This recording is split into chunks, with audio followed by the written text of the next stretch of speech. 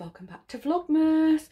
So as you can see, I'm uh, very hot. uh, I'm in Joshua's room and I've put the first coat of the dark, uh, excuse me, grey paint on the closet and um, it's looking quite nice. Very pleased with that at the moment.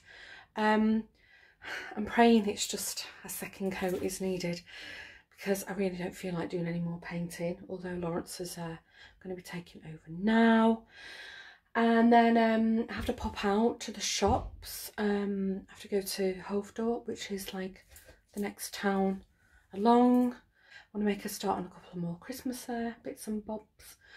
But um, I was feeling okay today. Now I feel like all my throat's come uh, sore again. So, oh God, I'm hoping it's over. Getting a bit tired of it now. Anyway, I'm going to go and clean up and uh, get changed and uh, whiz off to the shops. I'll take you with me. Just quickly popped in the HEMA. God, it's manic in here, so busy. Just having a quick look at the stocking fillers and little gifty things. A bit overwhelmed actually. Starting to feel not well.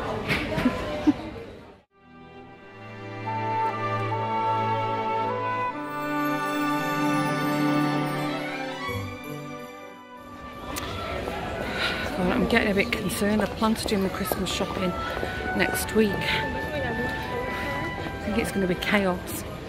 So I'm just going to buy a few little bits and pieces now. Just to try and make a start at least. I'm just going to head into Primark. I've got a feeling it's going to be packed in there. It's surprisingly quiet. Gold. Well, that's impressive. Literally ran around a load of shops. I think I've nailed like 80% of my Christmas shopping. Wow.